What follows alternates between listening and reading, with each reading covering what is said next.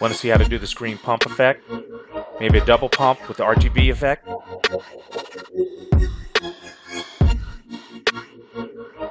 Let's see how to do it in Resolve.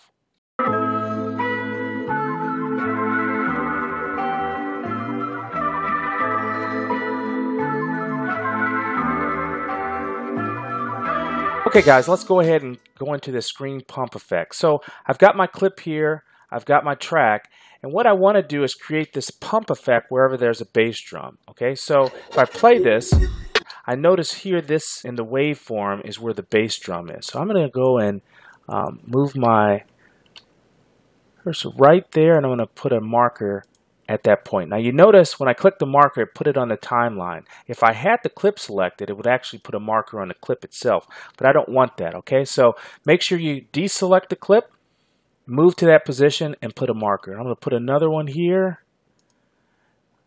another one there. Now I'm gonna, this has a double effect. I'm gonna put one here and one there, okay? And we'll, we'll work on that here in a minute. Okay, so the next thing we need to do for the effect is actually go into our inspector. So we're going to come in here, right here at the marker. I'm going to set a keyframe here. I'm going to set this to 1.15. Now you can adjust this as you see fit, but in my case, a 1.15 works very well. I'm going to advance two keyframes, and then here I'm just going to put it back to 1. I'm going to go back and then advance, or go backwards two keyframes from the marker, and then also set that to 1. Okay? All right. So now it we can look at that. All right. So we can see the pump effect. So now let me then show you a trick on how to copy this down. Okay, so while that's selected, this clip is selected, we're going to go in here to the uh, keyframe editor.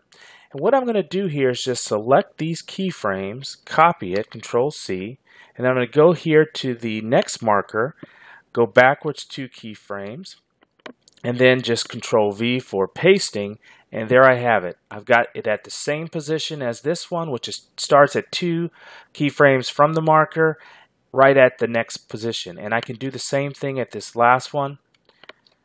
Control V. And so that makes it real easy to very quickly copy this effect uh, to other places on your timeline. Now, for this double uh, pump here, I'm going to do something a little different. Um, the first thing I'm going to do is I will copy. Oh, uh, let's go back to one, two. I will copy this in. One, two. So I've got both of those back to back. And what I want to do different here is I'm going to actually close this out so I can make this a little larger.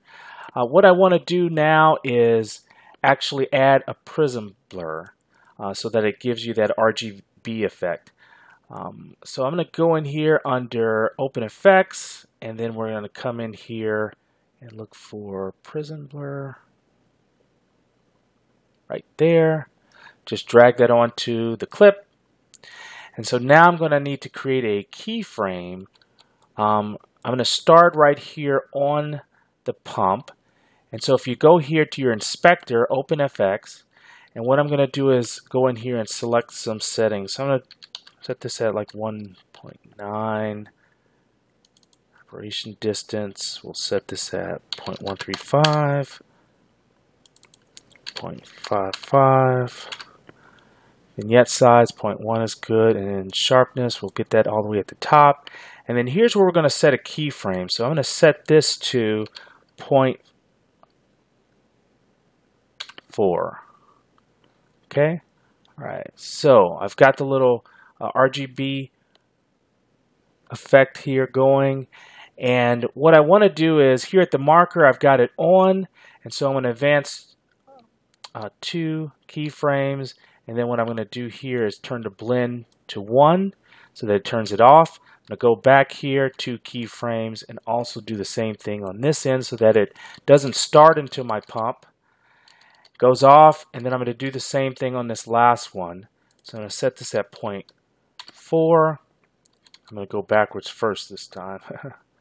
There's one, and then we'll do it here. Okay, so now I have the double pump. If I start here, I'm going to go slowly. It shows the RGB effect and it adds a little flare to that, that effect. Okay, so that's all you have to do. I showed you a few tricks on how to do that quickly. If you got any questions, please leave those in the comments below. Otherwise, please like and subscribe and stay tuned for the next tutorial. Peace.